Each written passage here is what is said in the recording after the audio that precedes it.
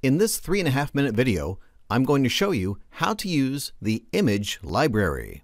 The Image Library contains all of your photos and logos that you will use on your marketing pieces. To access the Image Library from the home page, click on your username here in the upper right hand corner. And then click on Image Library. So here's your Image Library, and I'm going to show you a couple features here. Across the top you'll see three tabs. The first tab says Images, and this is where all the images that you have uploaded will appear. If you want to search for a particular photo, you can type any part of the photo name into this search box. And then click the Find button. This will show you any images that match your search parameter. To view all of your images again, click here on the All link. You can also mark images as a favorite to do that, click on this heart icon on any image you want to mark as a favorite. Now if you only want to look at your favorite images, click on the Your Favorites link.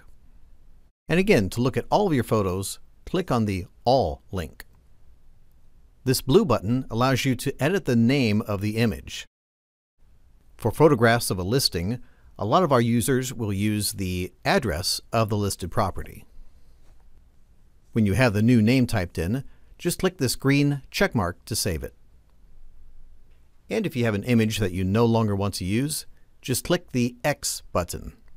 You'll receive a warning message to make sure you really want to delete this image. If you do, click the Delete Image button.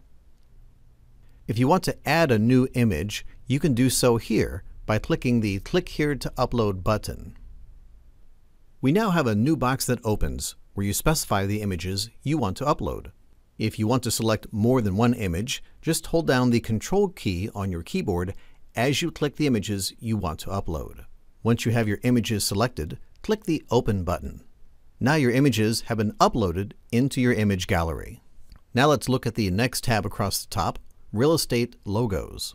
If you set up your company in ProspectsPlus.com as a franchise, you will see franchise logos here and you'll have the opportunity to choose one or more to use on your marketing pieces. Finally, let's look at QR codes. A QR code can be placed on a business card or really any of your marketing pieces to allow a user to scan it with their smartphone to get your phone number or website or an email address really easily.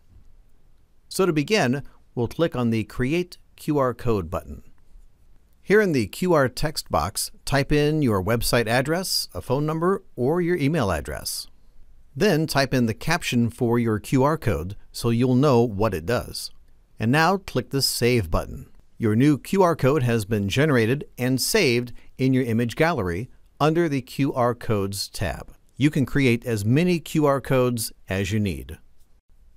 If you have any other questions, please contact us at 866 405 3638 or email us support at prospectsplus.com.